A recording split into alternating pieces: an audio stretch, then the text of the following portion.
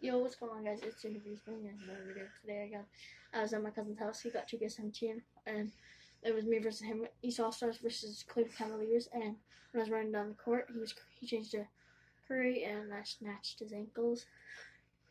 So yeah,